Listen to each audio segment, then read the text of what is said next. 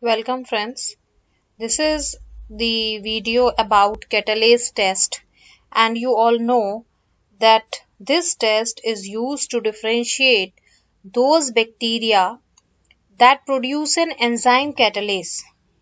So there is an enzyme known as catalase which is present in Staphylococci bacteria and we want to differentiate this bacteria Staphylococcus from those bacteria which are non-catalase producing means this enzyme catalase is present in staph and this is absent from the group streptococci. And you all know that both these bacteria they are gram positive cocci. If you see in the smear you will see that purple color uh, cocci means ball like structures are present. So by just by seeing the uh, gram staining you are not sure whether it is staphylococci or streptococci although we say that staphylococci they are arranged in clusters and they are little bigger than the streptococci which are arranged in short chains or longer chains. But still, we should go with this test, catalase test, and we should perform this test so that we can come to know whether it is a staphylococci or it is a streptococci. So what happened that in catalase test, uh, these staphylococci, they produce this enzyme catalase as you know that ASE, AS is there so it suggests that it is an enzyme. So this enzyme is present in staphylococci but it is absent in streptococci. So what we do, we do some tests so that we can check whether catalase is there in the bacteria or it is not there in the bacteria. So now coming to the principle that what is the principle behind this test? Catalase act as the catalyst it acts as a catalyst means this enzyme is going to uh, increase the reactivity of any reaction.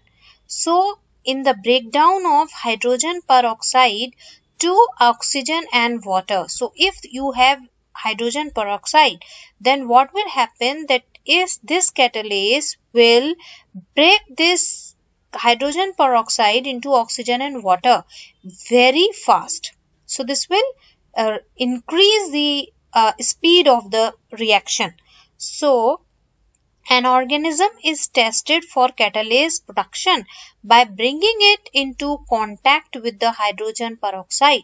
So what we do, we take hydrogen peroxide and as we know that this bacteria is having catalase, what will happen that when you are going to put this hydrogen peroxide to that particular bacteria, if you are going to mix that bacteria in this hydrogen peroxide, what will happen if the enzymes are present? What these enzymes will do?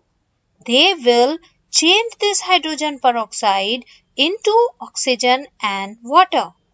So, this is the principle of this reaction that bacteria is having catalase and this catalase will break the hydrogen peroxide into oxygen and water. So what will happen?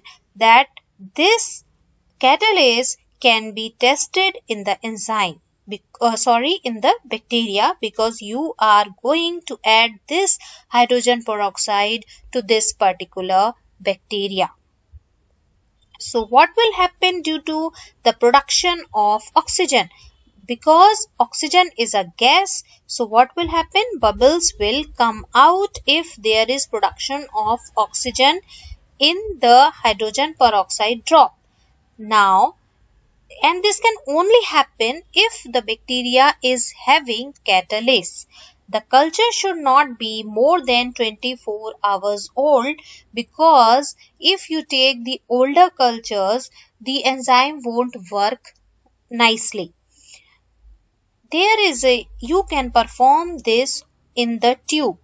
Here you can see this is a catalase test tube and we are adding the colony in it. So the enzyme in these bacteria they are breaking this H2O2 into water and oxygen and this can show that this bacteria is having catalase.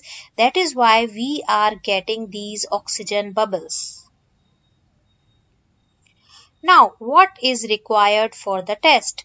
So, hydrogen peroxide is required for the test that is 3% H2O2 and this is very important that one should know how much percentage of hydrogen peroxide should be there. So, it should be 3%, right? And 10 volume solution, if you want to know what it is, we can go uh, in the index of this book and we can see that appendix, appendix are there in the back of this book. So how we are going to perform this test? Pour 2 to 3 ml of hydrogen peroxide solution into a test tube and then use a sterile wooden stick or a glass rod and then not a nichrome wire loop. Why we never take nichrome wire loop or why we don't take uh, iron loop or something like this we always take wooden stick or the glass uh, glass rod to remove the uh, colonies because you know that iron iron itself it act as a catalyst for this reaction. So we just avoid it now, the important thing here is that care should, must be taken when testing an organism cultured on a medium containing blood.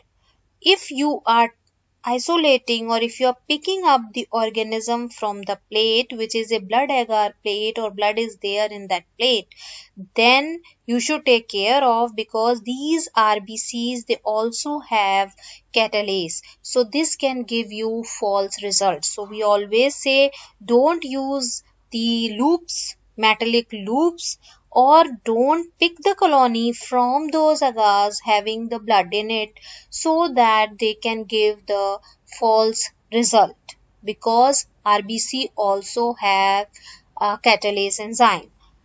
If any of the blood agar is removed with the organism, a false positive reaction may occur and this thing is always asked in the exam that what are the causes of false positive?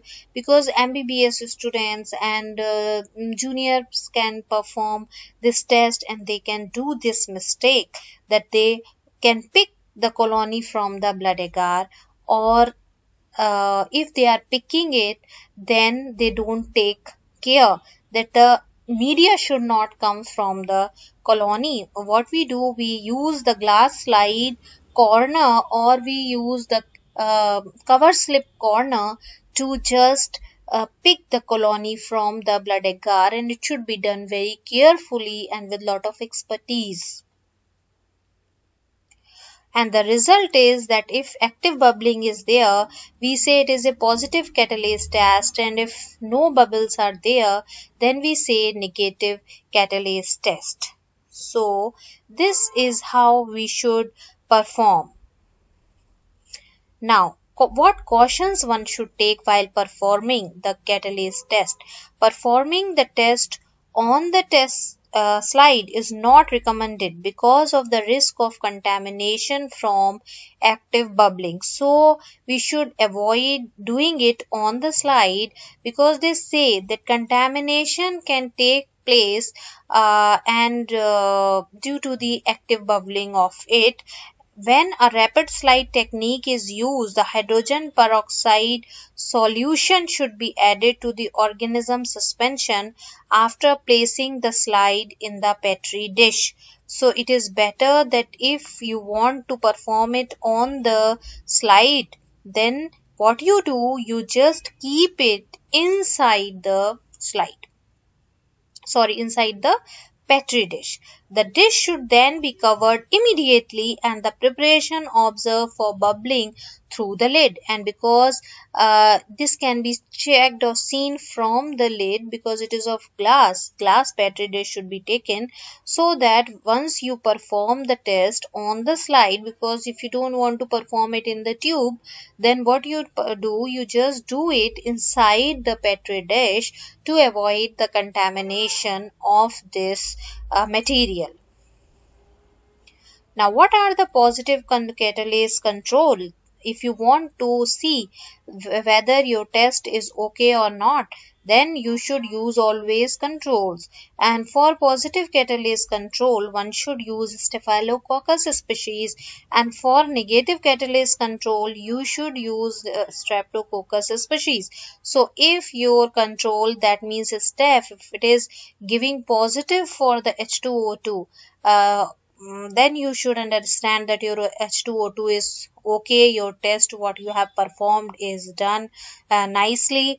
And um, if your negative control is giving you negative test that means everything is okay. Your performance of the test is well uh, means you have performed it nicely. And your H2O2 and the reagents are uh, quite good and they are satisfactory. So that is all about the catalase test. And here you can see we do it to differentiate staphylococcus from streptococcus. And it is a very important test which is done in microbiology laboratory. So thank you. If you have any queries questions then please write in the comment box